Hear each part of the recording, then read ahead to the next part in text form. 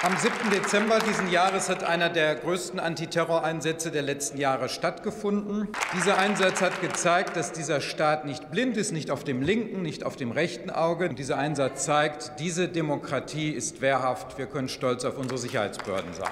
Es ist ja im Zusammenhang mit diesem Einsatz versucht worden, ihn ins Lächerliche zu ziehen. Ich muss sagen, das ist absurd und von, frei von jeder Sachkenntnis. Ich will Ihnen mal berichten, welcher Gefahr sich unsere Polizistinnen und Polizisten aussetzen, wenn sie gegen radikalisierte Reichsbürger vorgehen, die Zugang zu Waffen haben. Die Geschichte von Dirk E., der zu einem Objekt ging. Dort hatten wir es mit Wolfgang P. zu tun, ein radikalisierter Reichsbürger, der Zugang zu Waffen hatte. Und als Dirk E. vor der Tür stand, hat Wolfgang P. das Feuer eröffnet. Elf Schüsse hat er abgegeben. Und dieser Polizist ist im Einsatz nicht nur verletzt worden, er ist wenige Stunden später im Alter von 32 Jahren gestorben.